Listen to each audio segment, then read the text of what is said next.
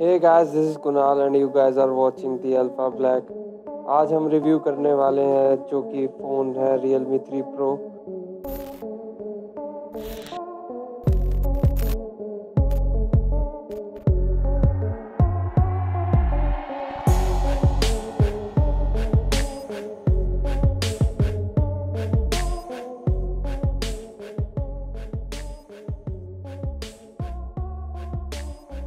तो Realme three pro की unboxing हम स्टार्ट करते हैं। मेरे हाथ में ये बॉक्स है रियल मी थ्री प्रो का। तो जैसा कि आप लोग देख पा रहे हैं कि रियल मी थ्री प्रो का नाइस एंड इजी बॉक्स है ग्रे कलर का ये। इसको अगर मैं खोलूँगा तो अंदर मेरे को मिलता है एक सिम इजेक्टर टूल साथ में एक मैनुअल गाइड और एक ट्रांसपेरेंट केस प्लास्टिक का केस है जो कि ठीक ठाक क्वालिटी का है।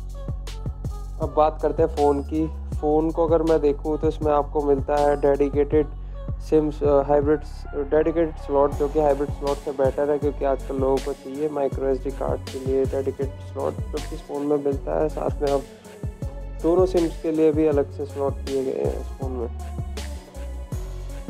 और देखते हैं इस बॉक्स में क्या है। तो बॉक्स में हमें मिलता है VOOC fast charging, super charger, ये 20 वोट का चार्जर है जो आपको 4 एम्पियर की सुपर चार्जिंग स्पीड देता है, जो कि कंपनी का दावा है कि आपका आधे घंटे में 50 परसेंट फ़ोन चार्ज कर देगी।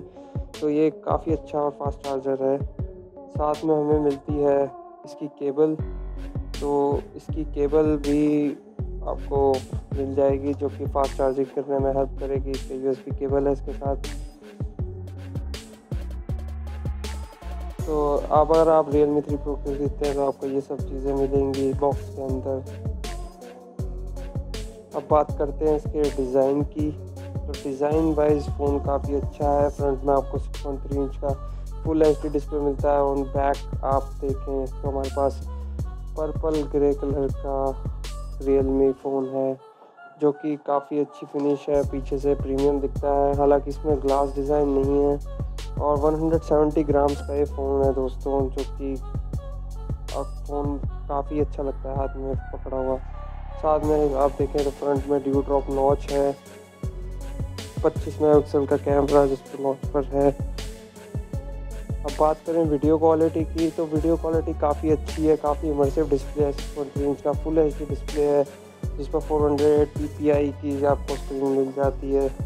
पिक्सल डेंसिटी जिसका twelve thousand is to one का कंट्रास्ट रेशो है, जो कि एक अच्छा डिस्प्ले है। बात करें इसके प्रोसेसर की तो दोस्तों इसमें सेवन टेन प्रोसेसर दिया गया है, जिसका एंटी टू स्कोर आता है आपका one thousand one lakh fifty five thousand to one lakh sixty thousand which is a good score और बात करें तो इसमें आपको जीपीयू जो दिया हुआ है, वो भी काफ़ी अच्छा है सिक्स वन सिक्स जी आपको दिया हुआ है इसमें।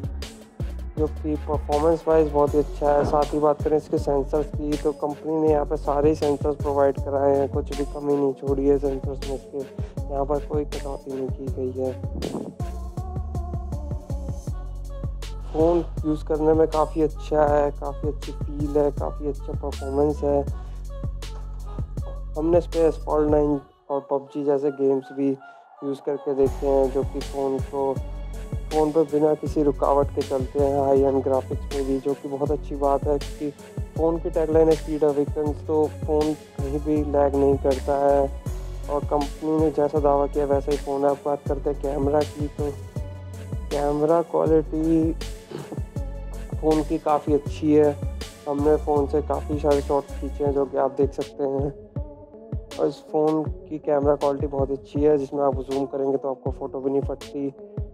बहुत ही अच्छी कैमरा क्वालिटी फ़ोन की दोस्तों, और साथ ही कंपनी का दावा है कि कैमरा आगे जाके और इम्प्रूव करेगी कंपनी तो कैमरा अभी से इतना अच्छा दिया गया है तो आगे अगर और इम्प्रूव करेंगे तो बहुत ही अच्छी बात है ये।